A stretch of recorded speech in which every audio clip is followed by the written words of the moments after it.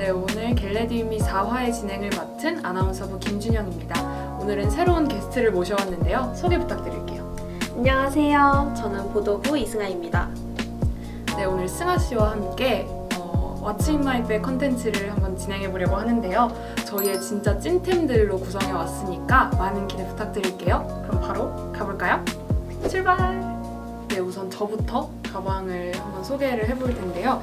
저는 라땡킴이라는 브랜드 가방인데 이게 어, 안에 되게 많은 물건들이 들어가서 어, 저처럼 좀 많이 가지고 다니는 사람한테는 굉장히 유용하게 잘 쓸 수 있는 가방이라서 이거를 정말 자주 들고 다니고요.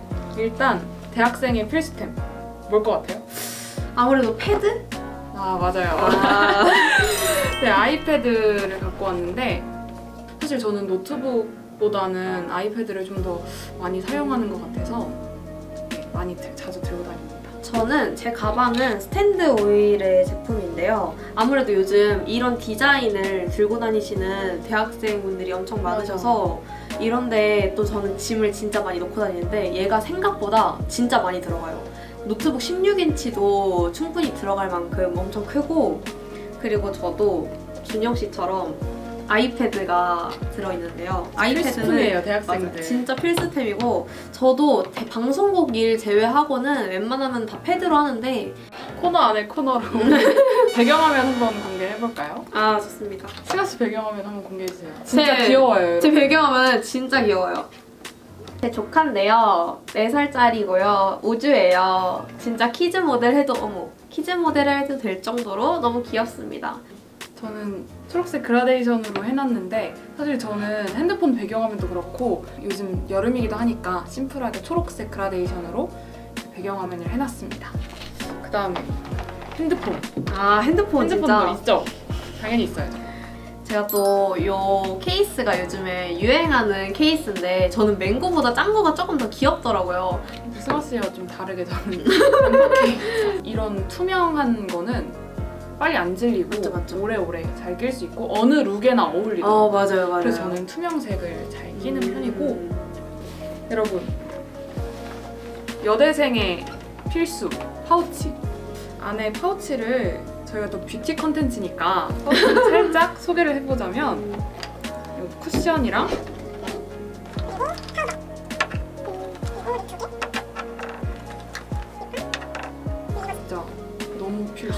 요즘 여름이라 에어컨을 진짜 많이 틀, 틀어주시거든요 그래서 눈이 너무 건조해요 맞아요. 심지어 저는 렌즈를 낀 사람이라서 렌즈가 진짜 뻑뻑하고 건조해지더라고요. 그래서 이거 꼭 들고 다니는 편이고 이렇게 저의 파우치도 공개를 해봤고요.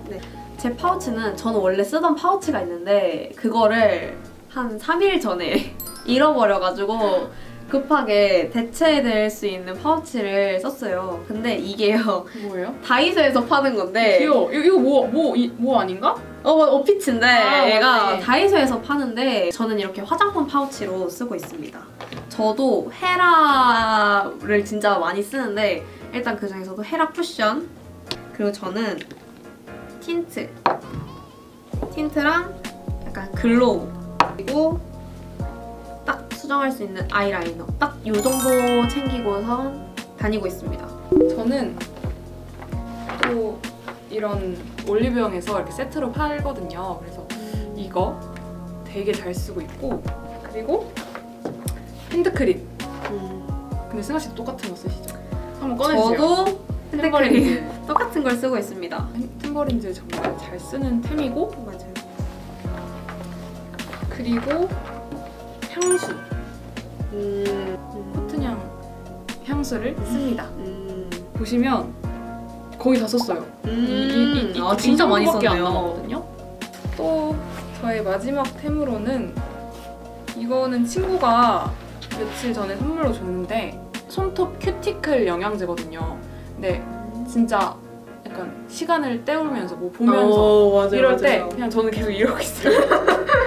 이렇게, 하고 있어요. 이거 좀 추천템으로 소개를 해드리겠습니다. 제 가방을 소개해 보자면 저도 일단 준영 씨처럼 향수를 가지고 다니는데요. 귀여워. 간편하게 들고 다닐 수 있고 또 귀여워요 이게. 그리고 저는 보조 배터리 이거 정말 없어서는 안 될. 대학 생활할 때 제가 이거 그 인문대에서 한 게임 행사를 참여해서 받아낸 건데 또 작기 때문에 언제든지 들고 다녀도 부담이 없는 크기입니다. 그리고 여기 에어팟. 요즘에는 학교 올 때 닥터 차정숙을 보고 이거를 놓고 오는 날은 그냥 하루가 참 불행한 맞아요. 네, 그런 날입니다. 통학러들은 진짜 필수템. 맞아요. 에어팟 정말 필수템이에요. 네, 이렇게 보시면 지금 한눈에 봐도 스타일 차이가, 취향 차이가 너무 잘 느껴지는데 승아 씨는 아마 귀여운 스타일을 좋아하시는 것 같고 저는 좀 심플하게 맞아요. 하고 다니는 걸 좋아하거든요. 네, 진짜 감성 있는 심플파. 저는 약간 좀 이것저것 파. 아기자기 예, 그런 네. 파인 것 같아요. 네, 그래서 What's in my bag 컨텐츠는 여기서 마무리하도록 하고요. 한 가지 전달해 드릴 게 있는데 저희 아나운서부 Get Ready With Me 컨텐츠가 오늘 마지막이었어요. 마지막 화인데 소감이 어떠세요? 마지막 화에 출연하신 아 마지막 화에 출연할 수 있어서 너무 좋았고 또 이 콘텐츠를 준영 씨랑 함께 할 수 있어서 너무 좋았습니다. 좋습니다. 네, 이렇게 저희 마지막 화까지 시청해주셔서 너무 감사드리고 이제 곧 종강이니까 다들 행복하게 여름방학 보내셨으면 좋겠습니다. 네, 그럼 여기서 인사드릴게요. 지금까지 아나운서 김준영 보도부 이승아였습니다. 안녕. 얘 또 이게 좀 잘 돌아가요. 근데 이거 약간 심의 규정이 안 될 것 같아서. 우리 좀 한번 돌려봐. 어, 들어볼까요? 일단 얘가 진짜 맹구 콧물은 잘 뻑뻑해서 안 돌아가는데 잘 돌아가.